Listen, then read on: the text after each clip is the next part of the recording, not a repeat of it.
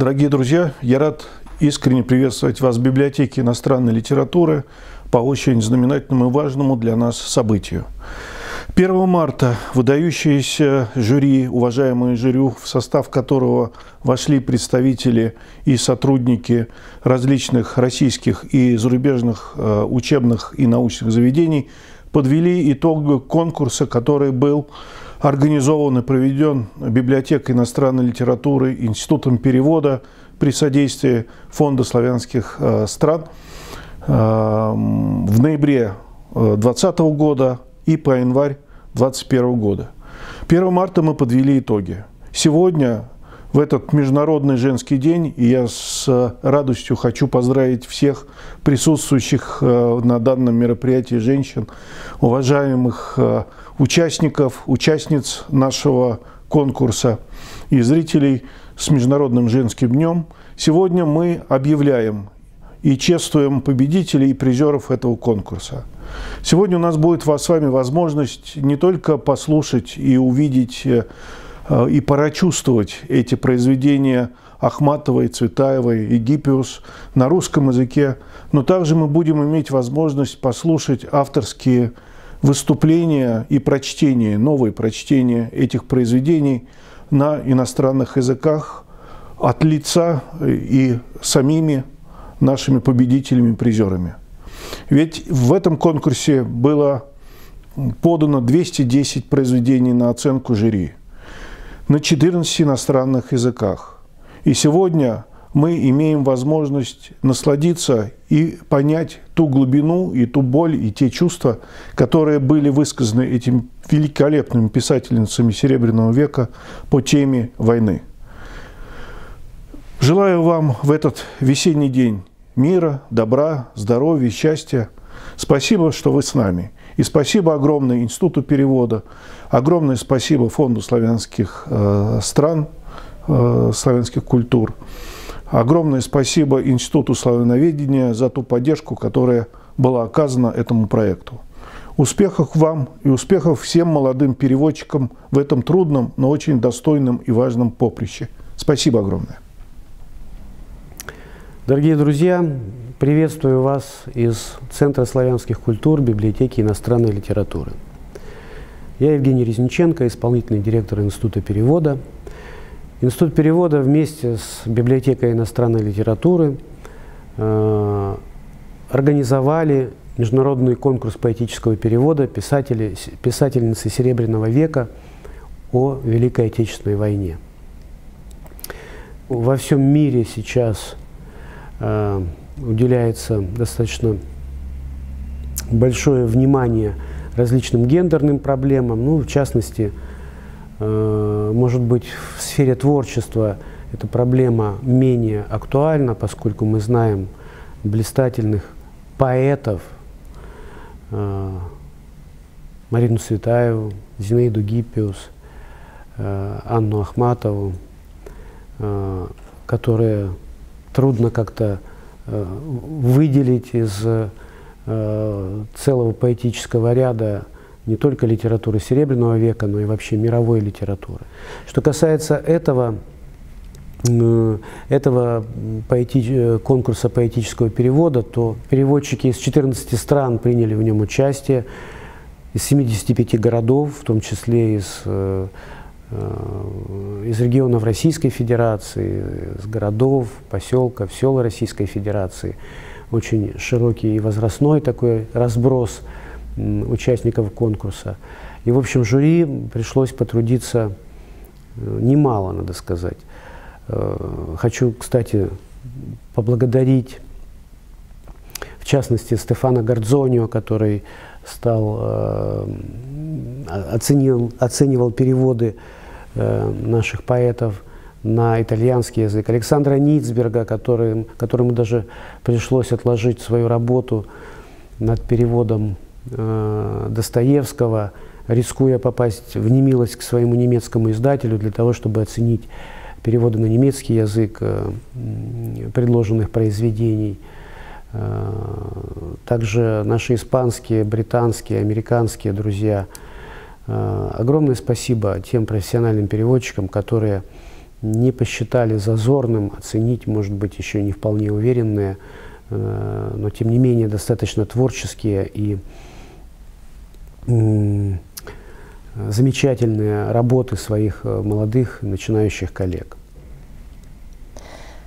Благодарю вас, Евгений Николаевич. Вы действительно замечательный партнер библиотеки иностранной литературы. Вы и организацию, которую вы э, возглавляете как исполнительный директор, а именно ОНО Институт перевода. Большое спасибо вам и вашим патронам за то, что вы всегда с нами – этот проект был придуман в этих стенах в библиотеке иностранной литературы и вынесен на утверждение форум славянских культур, где действительно принят был достаточно тепло, э, с любовью, потому что все, что касается наших молодых переводчиков, и форум э, очень хорошо это понимает, важно для продвижения идей, которые форум поставил во главу угла, это сближение славянских стран, информация о славянах, о творческой энергии, которая в нас есть,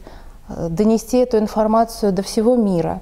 И, конечно, без переводчиков, без э, возвращения новых, молодых, талантливых коллег мы просто не справимся – Именно перевод – это те самые мосты, которые сближают наши народы. Благо последнее время очень многие молодые люди изучают сразу несколько языков.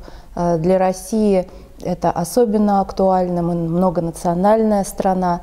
Но тем не менее этот конкурс и еще такие ворота э, в мир. Наш проект поддержали э, ребята из самых разных, самых отдаленных уголков нашей планеты, с разных континентов. А, действительно, э, Евгений Николаевич сказал, что это 14 э, стран, а, это 34 региона, российских региона, 75 а, городов всего мира, 51 населенный пункт России. Действительно, мы э, не ожидали такой широкой поддержки. Э, мы не первый раз э, с Центром славянских культур э, делаем такие интересные конкурсы для молодых, но этот конкурс, проведенный в прошлом году, 75-летие Победы, вызвал особый интерес. От Аргентины через все славянские страны до самых дальних, отдаленных уголков России, э, различных наших национальных республик. Мы особенно э, ценим ваше участие, дорогие друзья, и списки всех тех, кто поддержал наш конкурс, опубликованы на сайте как библиотеки иностранной литературы, так и Института перевода. Большое вам спасибо, большое спасибо за то, что вы поучаствовали и поддержали этот замечательный проект, который по-настоящему стал международным.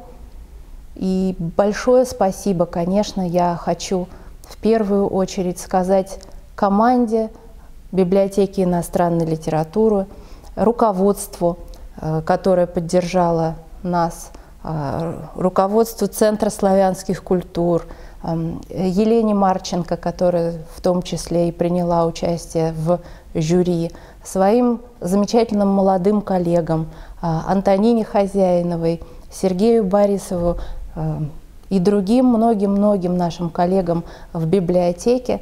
Большое вам спасибо. Без вас мы бы не смогли продвинуть а, этот проект в мир. Лучшие работы будут опубликованы. Мы услышим сегодня чтение самих победителей, тех, кто занял первые места в нашем конкурсе. Мы услышим произведения наших замечательных поэтов Серебряного века. Большое вам спасибо.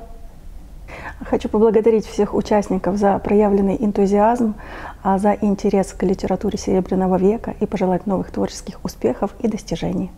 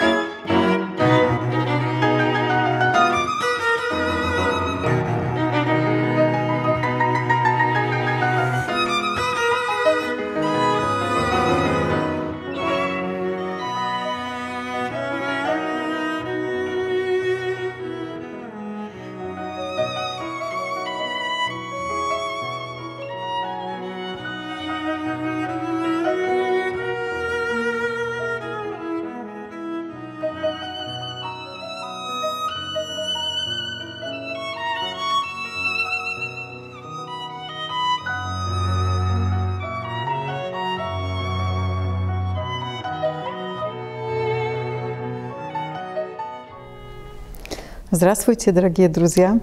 Меня зовут Малгужата, я переводчик э, русского языка, полька по национальности. Хотела поделиться с вами впечатлениями от э, конкурса, в котором выступал в качестве члена жюри.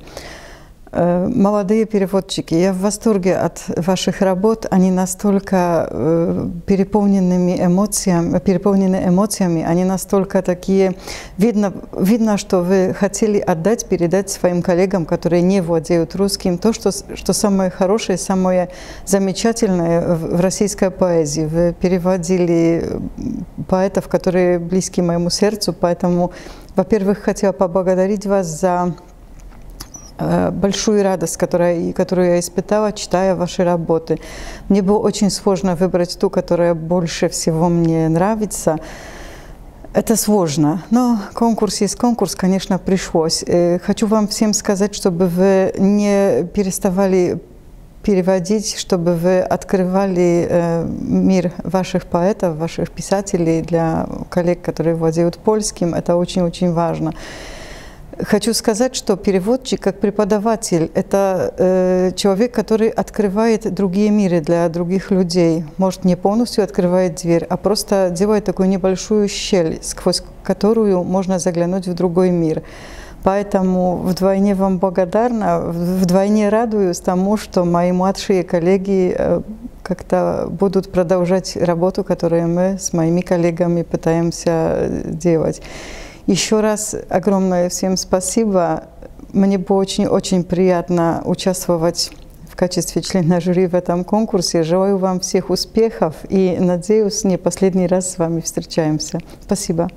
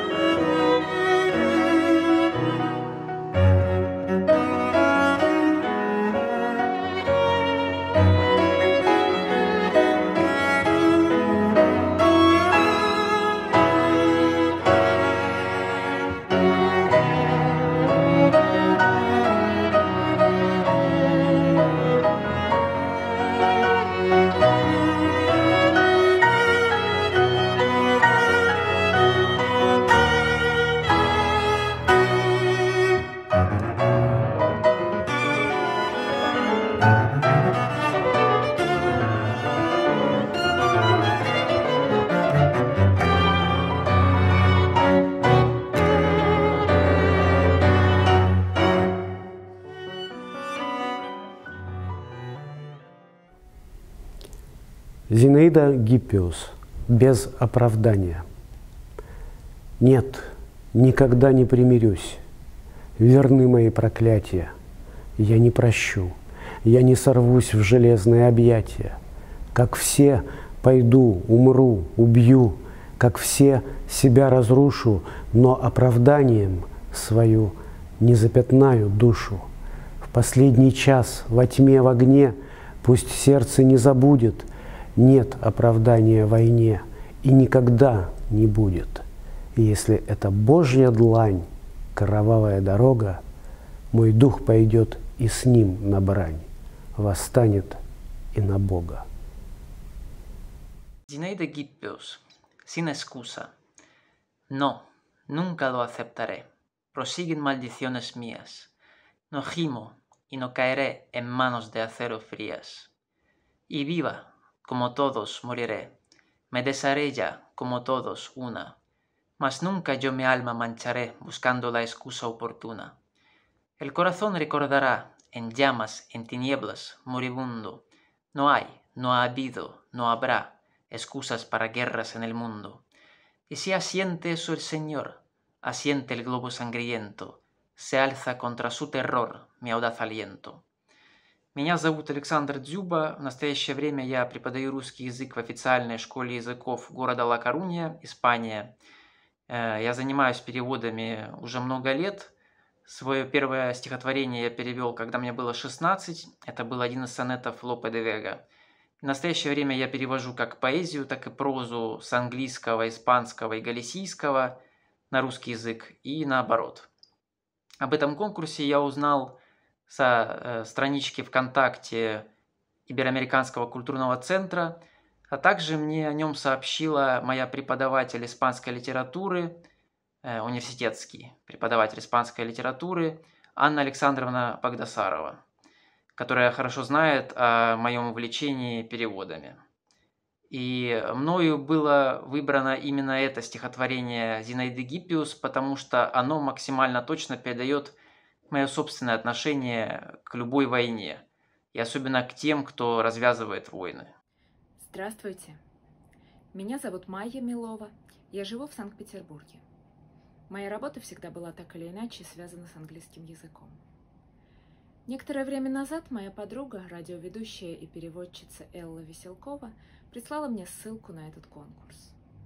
Предложение поговорить одновременно о Серебряном веке, женской поэзии и антивоенной лирике показалось мне привлекательным. Я сразу подумала о стихотворении Зинаиды Гиппиус «Без оправдания». Меня завораживают его страсть, бескомпромиссность, твердость лирической героини перед лицом безысходности и обреченности, его магнетический ритм. Вот таков ответ женщины тем, кто развязывает войны. Мне показалось, что это стихотворение хорошо поддастся переводу, и я очень старалась сделать это более или менее достойно. No, I will never fall in line.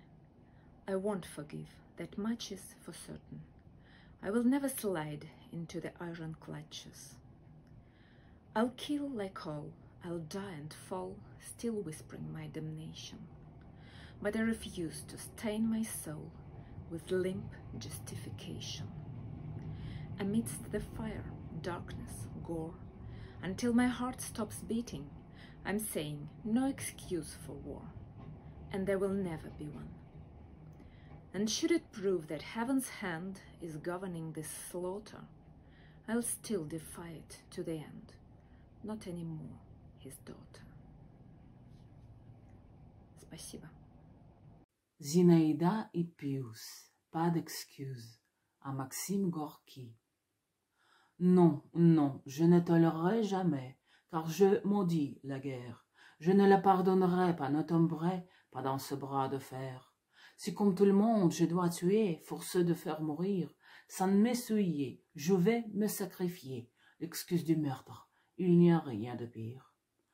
À deux doigts de la mort, en flamme, dans les ténèbres, n'oubliez jamais, ô ma conscience, ô mon âme, la guerre ne peut pas être justifiée.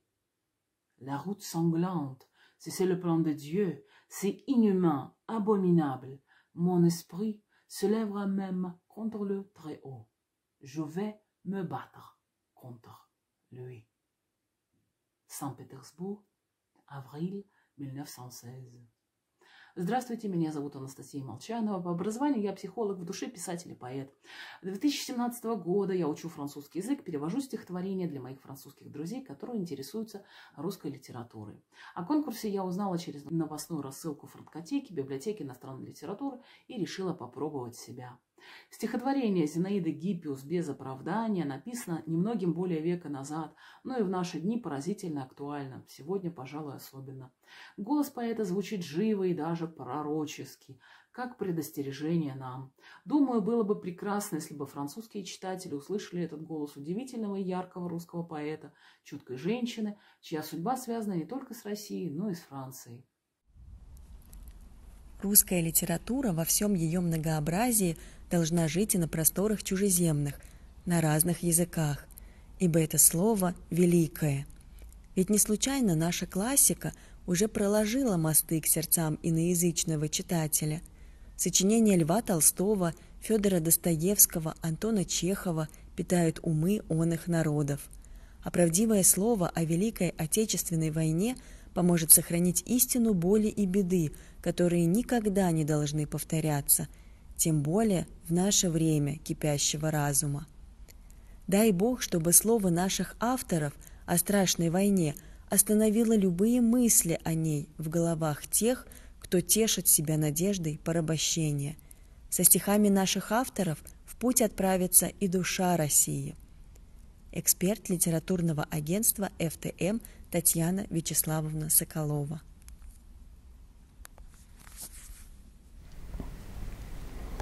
Анна Ахматова. Щели в саду вырыты. Щели в саду вырыты, не горят огни. Питерские сироты, детоньки мои. Под землей не дышится, боль сверлит висок. Сквозь бомбежку слышится детский голосок. Постучи кулачком, я открою. Я тебя открывала всегда. Я теперь за высокой горою, за пустыней, за ветром и зноем, но тебя не предам никогда. Твоего я не слышала стона, хлеба ты у меня не просил. Принеси же мне веточку клена или просто травинок зеленых, как ты прошлой весной приносил. Принеси же мне горсточку чистой нашей Невской студеной воды из головки твоей золотистой – я кровавые смою следы. Здравствуйте, меня зовут Анна Рези. Я итальянский переводчик, а сейчас живу в США. Я приехала сюда, когда поступила в аспирантуру университета Брауна. Я узнала о конкурсе через академическую новостную рассылку «Селангс». На конкурс я переводила стихотворение Анны Андреевны Ахматовой «Щели в саду вырыти», она была написана в апреле 1942 года во время блокады Ленинграда. Я выбрала это стихотворение прежде всего, потому что я просто люблю Ахматову. Я думаю, что она может выразить самые глубокие чувства, включая острую боль, в самой поэтической форме и без лишних слов. Кроме того, в этом стихотворении Ахматовой переплетаются интимные и семейные образы невинной детской жизни с мрачными и кровавыми образами войны. Будучи матерью, я очень эмоционально воспри... воспринимаю это стихотворение.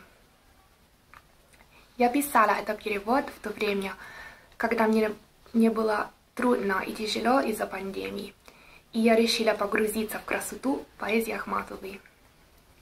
Поэтому для меня большая честь, что мой перевод был выбран комиссией. И вот читаю. Trince scavate in giardino, luci spente, orfani di Pietroburgo, piccoli bimbi miei. Sottoterra non si respira, pulsa il dolore alla tempia, tra le bombe si sente una vocina di bimbo. Bussa col pugnetto, ti aprirò, io a te sempre ho aperto. Sono oltre un'alta montagna, oltre il deserto, oltre vento e calura, ma te mai tradirò. Non ho sentito il tuo gemito, pane non me ne hai chiesto. Portami un ramo d'acero o solo delle erbette verdi come la primavera scorsa. Portami una mangiatina della pura, gelida acqua della nostra Nievà, e dalla tua testolina d'oro cancellerò le, le tracce di sangue. Спасибо. Зинаида Гиппиус. Юный март. Allons enfants de la patrie. Пойдем на весенние улицы, пойдем в золотую метель, Там солнце со снегом целуется и льет огнерадостный хмель.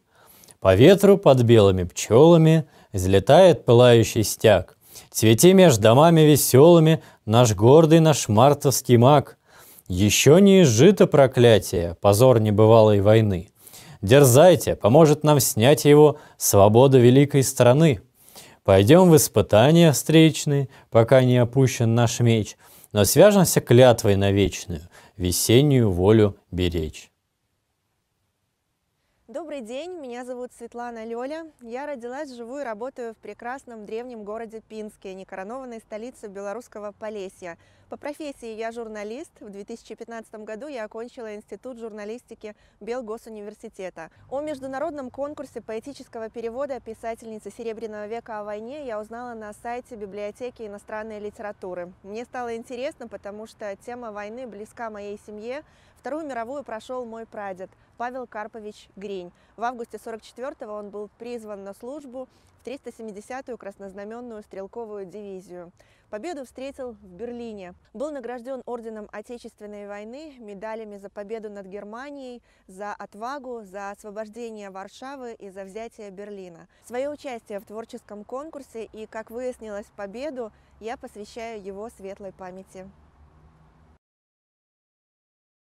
Для перевода на белорусский язык я выбрала стихотворение Зинаиды Гиппиус «Юный март» 1917 года, посвященное событиям февральской революции. Оно вдохновило меня своей воинственностью и в то же время легкостью, борьбой за справедливость, чувством свободы, чувством патриотизма и народным единством. Зинаида Гиппиус, юный соковик. Ходим на вясенние вулицы, у золота тихих завей, Там солнце со снегом целуется, и хмель с кожным кроком мацней. Паветры под белыми пчолами палае акрылены сцяг, Квітнее між дамамі вясёлымі, жыцця сакавіцкі маяк. Пакуль неба стогне праклёнамі, ганьба небывалай вайны наперад даволі натхнёнымі вялікай дзяржавы сыны. Насустрач хадзем небяспечнаму, пакуль не злажылі мячы, знітуемся клятваю вечнаю, вясенні огонь перагчы. Радует, что Всероссийская библиотека иностранной литературы обратила внимание на иностранную литературу белорусскую. Э, очень интересно заниматься поэзией, замечательной поэзией белорусской. В данном случае сложным для переводчика перевод с русского языка на белорусский и с белорусского на русский является очень серьезной задачей. Близость языков добавляет трудности при переводе стихотворных текстов. В данном случае мне понравились стихотворения, хорошее стихотворение и хорошие переводы Анны Ахматовой, но, но э, должен сказать, что это стихотворение не очень э, характерно для Анны Ахматовой, для ее поэзии. Он более, э, в нем чувствуется заданность, выполнение какого-то задания э, в связи с пятилетием Победы. Э, больше понравился мне понравился перевод стихотворения Гиппиус. Э, переводчик выбрал сложное для перевода стихотворение. Там есть образы, которые переводить э, сложно.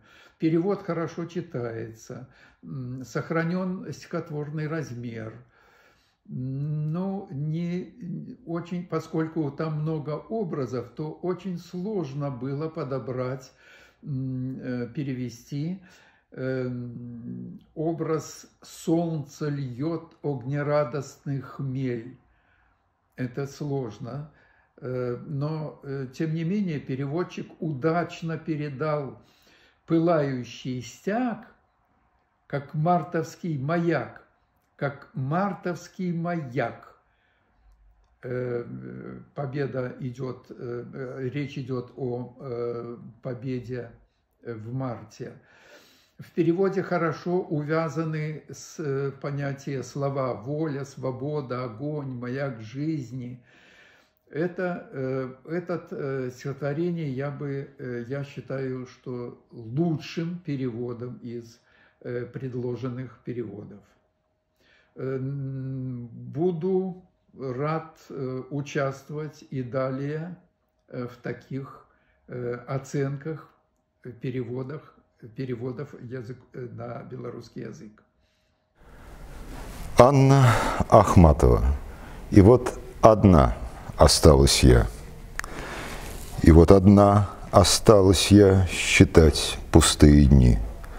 О, вольные мои друзья – о лебеди мои, и песни я не скличу вас, слезами не верну, но вечером в печальный час в молитве помяну.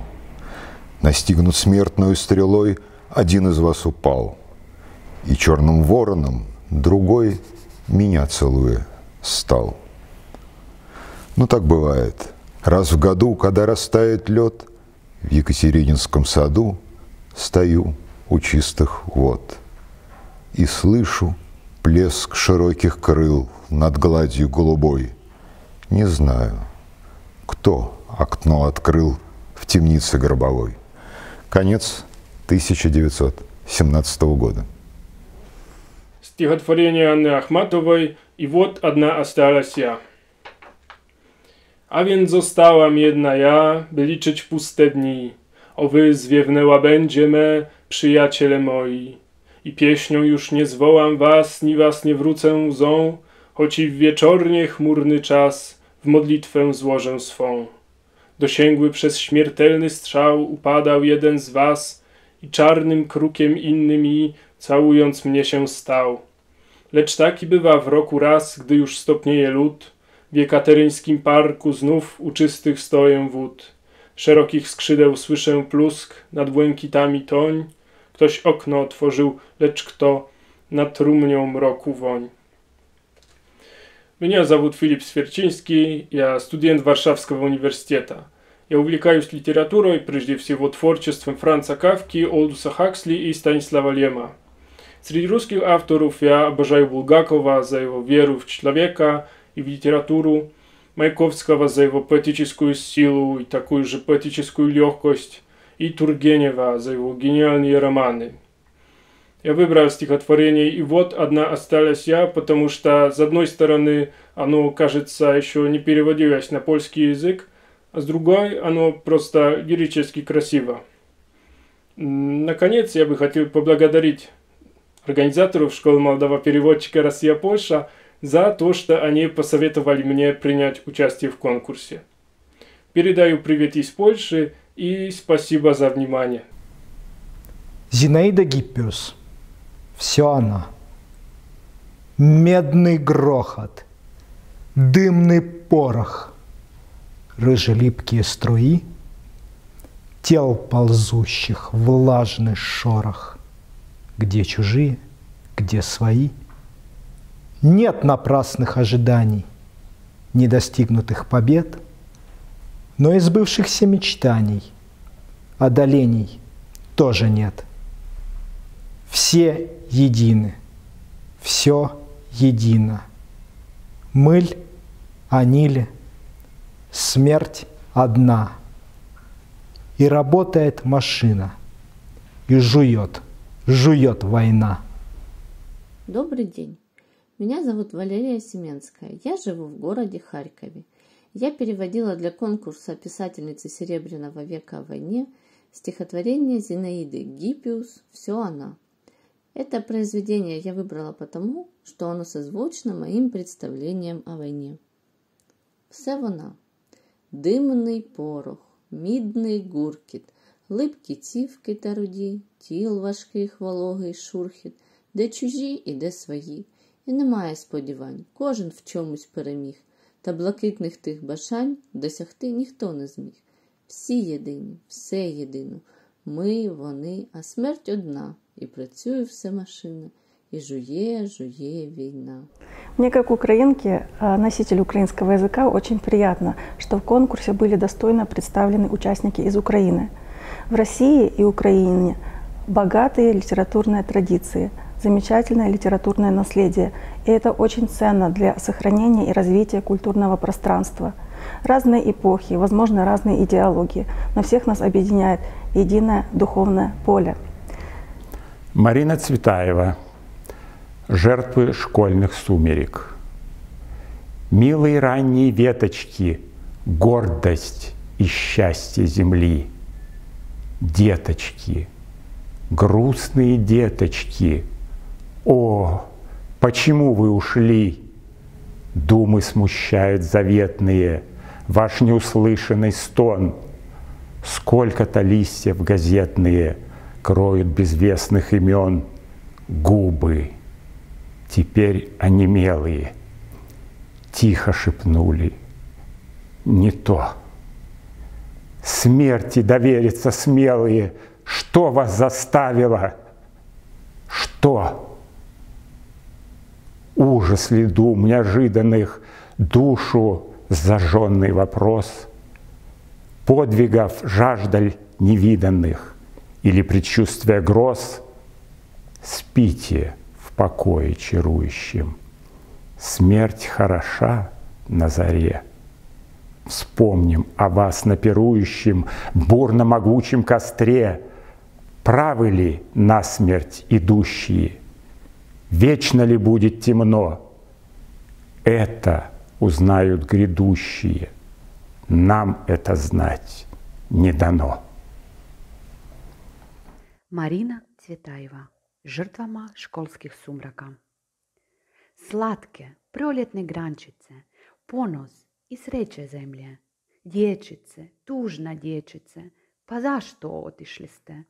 Zbunjuju misli njegovane, vaše neslušljivo stenjenje. Koliko teh novinskih listova prikrivaju nepoznata imena. Usne su sada utrnule, tiho su šaptale. Nije isto. Smrti se predete, hrabri ste. Što vas je natjeralo? Što? Je li užas neočekivanih misli? Pitanje žarko u duši? Ili žeć za neviđenim podvigom? Ili slutnja o grmljavini? Snivajte u čarobnom miru. Smrt je dobra. U zoru. Sjetit ćemo se vas na olovnoj burnoj vatri. Jesu li oni u pravu gledajući smrti u lice? Hoće li zauvijek biti mraka? Saznaće naredni. Nama to nije da. Когда погребают эпоху, надгробный псалом не звучит. Крапиве, чертополоху украсить ее предстоит. И только могильщики тихо работают, дело не ждет. И тихо, так, Господи, тихо, что слышно, как время идет. А после она выплывает, как труп на весенней реке. Но матери сын не узнает, и внук отвернется в тоске. И клонятся головы ниже, как маятник, ходит луна. Так вот, над погибшим Парижем такая сейчас тишина. Меня зовут Просяник Георгий Михайлович. Я студент второго курса исторического факультета Московского государственного университета. Мой родной город – Воронеж. Именно в нем я в течение 11 лет посещал театральную студию, в течение 7 лет музыкальную школу, в которой научился играть на скрипке. И именно в этом городе я увлекся поэзией и поэтическими переводами. Почему я выбрал стихотворение Анны Ахматовой «Когда погребают эпоху» в качестве источника для моего поэтического перевода?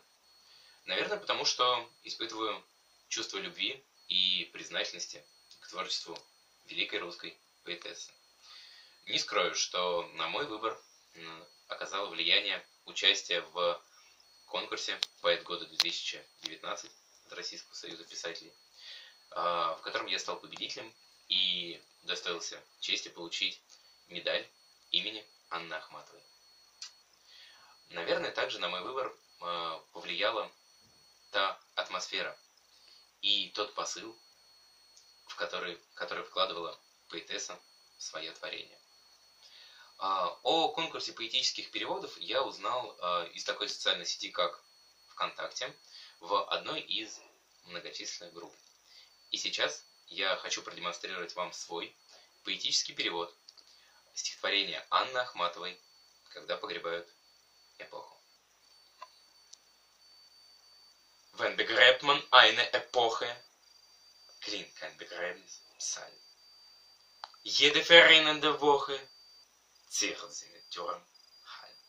Nur arbeiten Totengräber und ständig sie jede beeilt das Schweigen ist zäh wie Leder, obwohl schnell vergeht die Zeit. Im Frühling schwimmt ihre Leiche aus dem Fluss hinaus.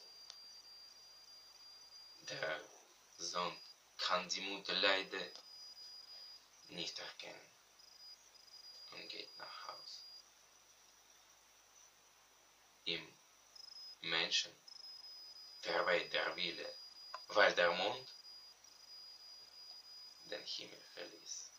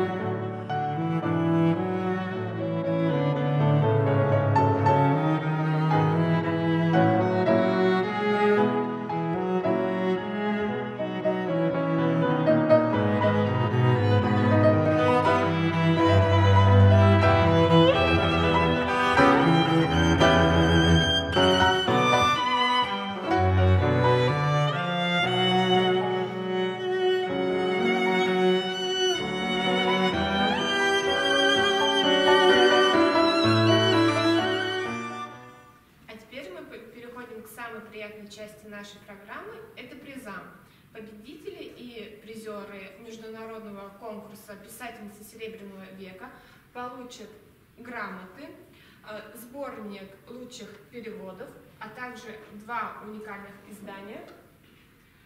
Все призеры конкурса получат книгу Александра Сергеевича Пушкина «Маленькие трагедии», изданного в Центре книги Родумино, вошедшего в серию «Сценография в книге». И, наконец, победители, занявшие первые места в своих номинациях, получат уникальное издание «Александр Блок. 12» в оригинале и на 20 иностранных языках. Поздравляем победителей и призеров. И, конечно же, поздравляем всех дам с Всемирным женским днем.